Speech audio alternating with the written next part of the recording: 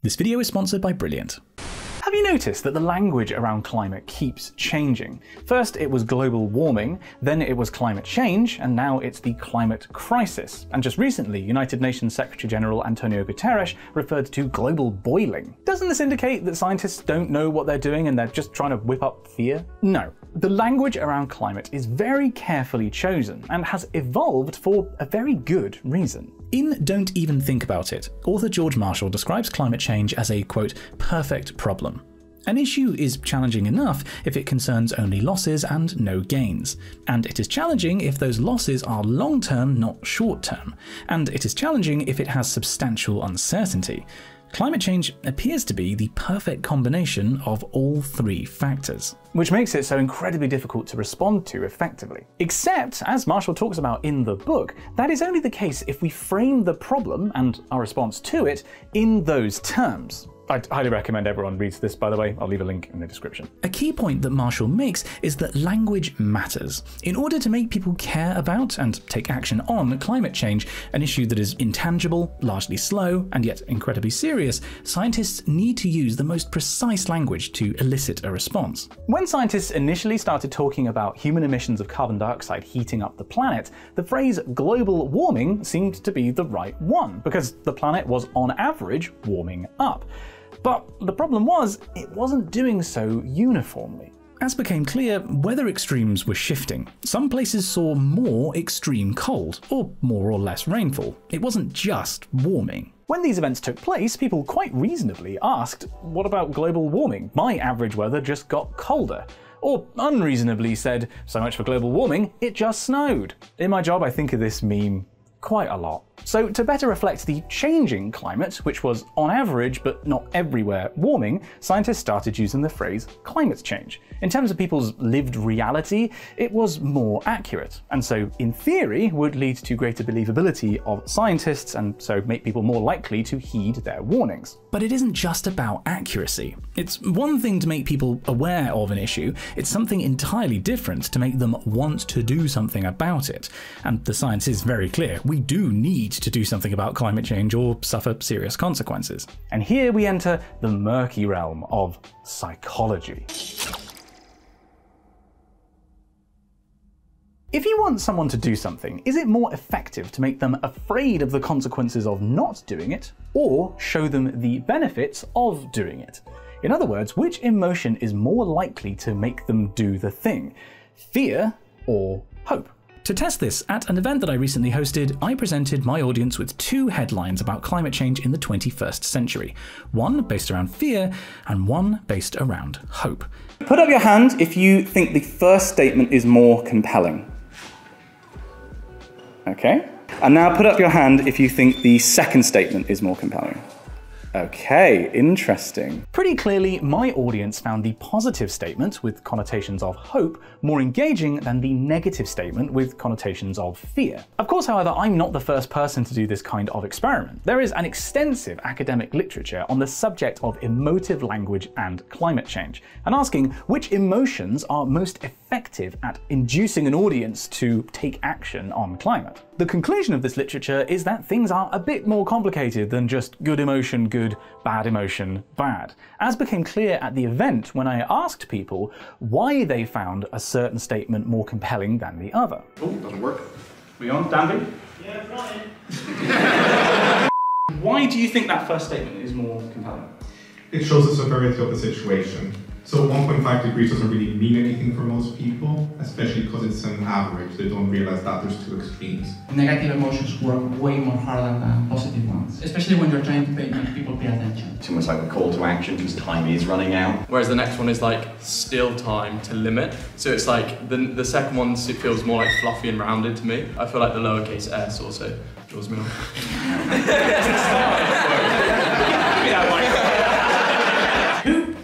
Who thinks the second statement is more interesting? Second one is better because we hear so much doom and gloom about climate change, so it's nice to actually have something positive, and I think that would catch another side of people that want to want to take action. Not only is it more hopeful, there's also solutions. Doom scrolling is enough of our lives that we don't need to add more to it. It sort of blurs into the background. The decision makers, the people who are really making decisions about um, shipping companies or, or they need to know that it's, it's something that can be done. The second one feels more like, okay, there's still time, we can still do something. I'm going to engage in this. Brilliant. So I think I think it's very interesting that for some people, hope is a more powerful emotion, and for some people it's fear. Like it's very, it is like a Jedi Sith kind of divide. it feels like. The crucial takeaway from my event and from the literature is that the same language hits differently with different cultures, with different groups of people.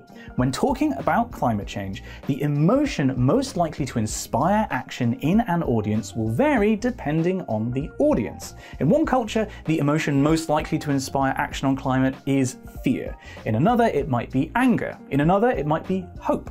It's why fear laden books like The Uninhabitable Earth will resonate with some audiences, but actively turn off others. And the same for hopeful books like The Future We Choose. The net effect of a particular narrative could be negative depending on the emotion used, the size of the target culture, and how the narrative will be perceived by other groups who hear it. In any form of communication, it is imperative to have your target audience in mind. By trying to talk to everyone at once, you talk to no one effectively. It's why top level climate communication from bodies like the UN and the IPCC is so difficult, and why it quite frequently misses the mark with at least some cultures. For example, when Guterres said the phrase global boiling, it effectively engaged some people, but it was actively damaging to the engagement of others who said that the language was inaccurate and sensationalist. Marketing 101 target your language to your target audience. Something made much more difficult in an age of social media when every message ends up spreading everywhere. So, what does this mean for how scientists and activists should talk to the public about climate? Well, it will vary case by case. There's no one size fits all approach. In some cases, you are more likely to inspire action on climate change by making your target audience angry about how costly inaction so far has proven, as was shown in a study in Norway. In other cases, it would be more effective to make your audience want to build new green infrastructure to provide hope of a better future, as will likely be the case with a younger audience suffering from climate anxiety. Ultimately, you just have to know your audience. The undercurrent of all this, however, is one more factor time.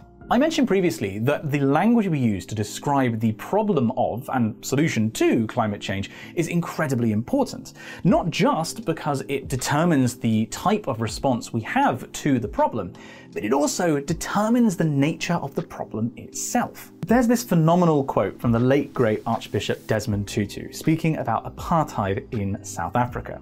This is one of my all time favorite quotes. Language is very powerful. Language does not just describe reality, language creates the reality it describes. The critical issue is time. The science is unequivocal that we have a narrowing window to avoid causing significant, irrevocable damage to the world we depend on for our survival. No matter what emotion we want an audience to feel when discussing climate, we need them to know that now is the time for action. Now is the time to put whatever emotion they are feeling into effect. And this is why climate change has become the climate crisis. I think it's a very carefully and very accurately chosen word to articulate the time sensitivity of our response. And by using it, we create the reality that necessitates an immediate response. Of course, that reality isn't being created, it already exists, just to an omnipresent being that can somehow feel all the datasets that scientists have collected over decades. To be very clear, I'm not talking about manufacturing a reality that matches what scientists want people to think. We're talking about creating a human accessible reality, bound by the limitations of human experiences and human language.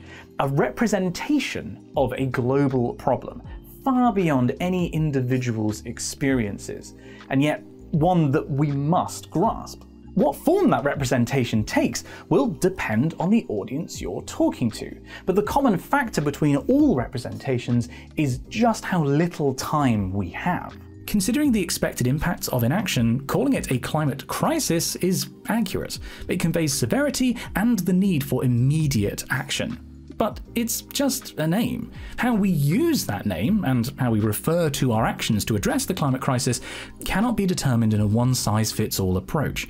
Our language must be tailored to the audience we wish to reach, forming a multitude of climate realities described in media. So, if you've noticed that the language around climate has changed, that's because the climate has changed. And as the window for meaningful action narrows, the need for tailored, emotive language around climate becomes ever greater. Climate communication is only going to get more sophisticated and more diverse from here. Because it has to. Using dry scientific language didn't work. And so scientists now are forced to use the full gamut of emotive language to inspire the action that we as a global society need to take. If you would like to put the headlines around climate change into context, whatever language they use, then you could do with a primer on climate, or statistics, or solar energy. Fortunately, fun and free courses on those subjects and many more are available on Brilliant, who have kindly sponsored this video. Brilliant is the best way to learn maths, science, and computer science interactively. Their hundreds of lessons, accessible via browser or their app, are built around the concept of engaging a student, introducing new concepts and then immediately getting you to apply them.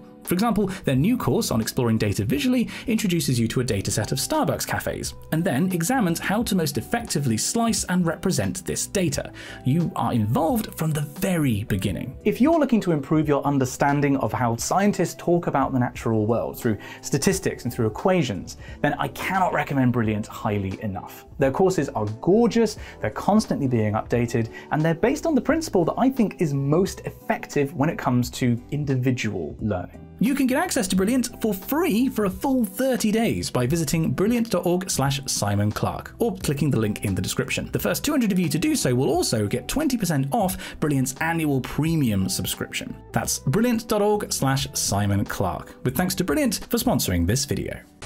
Thank you so much for watching the video. I really hope that you enjoyed it. If you were inspired by the use of language around climate change, I would highly recommend Don't Even Think About It, the book I mentioned at the start of the video. Please do check out the description for a link to that, as well as a link, of course, to Brilliant. Also down there in the description, you'll find a link to my Patreon. If you would like to support me making more videos, get access to behind the scenes content, and have a say in some of the topics that I cover, then you can support me at patreon.com forward slash Simon. These people on screen right now are my lovely executive producer patrons who support me at the top tier. Thank you so much for making this work possible. If you enjoyed the video, you know what to do. Pop it a like, share it, comment. You've been on YouTube before. That just leaves me to say, if you'd like to watch something else, here's some recommended viewing next. Thank you again so much for watching, and I'll see you in the next one.